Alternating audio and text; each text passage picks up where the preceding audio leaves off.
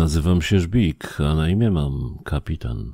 Pułkownik Żelazny zlecił mi rozpracowanie bandy grubego cypka. Do tej pory żaden z agentów nie zdołał ujść z życiem z łap tej szajki. Ucieszyłem się, że pułkownik Żelazny zlecił mi tak odpowiedzialne zadanie. Pułkownik chyba też się ucieszył, bo przez godzinę od momentu zakomunikowania mi zadania śpiewał w swoim gabinecie znany przebój Od rana mam dobry humor. Przestał śpiewać dopiero kiedy przeszył sobie palec zszywaczem biurowym, który notabene mu przyniosłem. Ponieważ adres Cypka znany był na komendzie, wpisałem go sobie do notatnika. Po godzinie jazdy służbowym trabantem przybyłem na miejsce. Wszedłem na trzecie piętro i zapukałem służbowo do drzwi. Wyrwane z zawiasów upadły całym ciężarem na grubego cypka, który akurat podchodził od drugiej strony, aby je otworzyć. Po wyważonych drzwiach, depcząc jednocześnie po lekko oszołomionym cypku, wszedłem do wnętrza i wyciągając legitymację poprosiłem o umożliwienie zaaresztowania niejakiego Cypriana Chrząszcza, lepiej znanego pod przezwiskiem Gruby Cypek. Na moje diktum zgromadzeni przy stole obywatele znani pod przezwiskiem bandziorów wyciągnęli broń i oddali w moją stronę serię strzałów. Akurat w tym momencie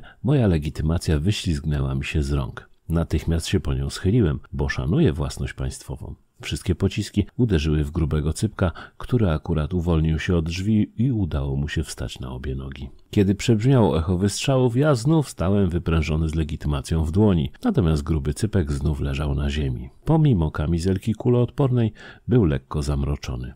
Schyliłem się, aby sprawdzić, czy czegoś mu nie trzeba. W tym momencie goście cypka znów wystrzelili. Wścibska sąsiadka, która zaglądała przez wywalone drzwi, lekko się omsknęła i sturlała po schodach na półpiętro razem z kotkiem, którego hołbiła pod pachą. Po ilości miałknięć udało mi się policzyć ilość schodów. Chłopcy strzelając, jak się później dowiedziałem, w moim kierunku, wystrzelali wszystkie pociski z magazynków, z magazynków zastępczych, magazynków pochowanych w kieszeniach, a jeden z nich wystrzelił nawet swój złoty ząb, który zdążył szybko przetopić. Dzięki zbiegom okoliczności żaden z pocisków nie wcelował w moją urzędową osobę. Aresztowałem wszystkich i bez żadnych problemów doprowadziłem na komendę.